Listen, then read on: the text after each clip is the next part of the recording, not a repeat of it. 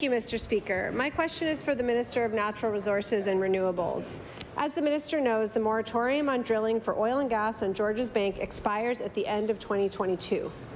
That moratorium has been in place for over three decades because successive governments have recognized that this lucrative, multi-species fishing ground must be protected from any possible pollution from oil and gas activities. Mr. Speaker, many Nova Scotians are asking for clarity on this question. Will the minister commit to legislating a permanent moratorium on oil and gas activities on Georges Bank? The Honourable Minister of Natural Resources. Thank you very much, Mr. Speaker, and uh, thank the member opposite for the question. It's uh, it's a very important uh, fishing grounds. We, we know that there is a moratorium that, that exists, but it, as I brought up in the House yesterday, it, it, it's a, a, federal and a provincial level uh, discussion that has to take place to to even extend that process that's go, going on right now. Um, I did commit to the House uh, yesterday that I certainly am going to look into those details, and I'll be happy to share that as soon as those conversations do take place. The Honourable Minister, uh, Member for Dartmouth South.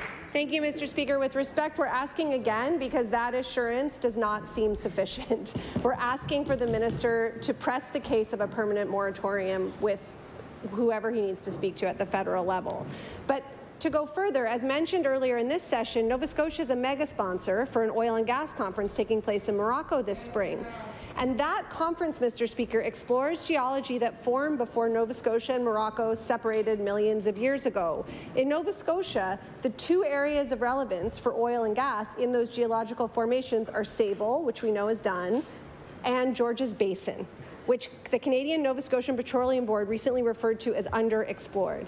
Mr. Speaker, Georges Basin sits beneath Georges Bank. Does the minister really believe that we can protect the bank while ushering in exploration in the basin?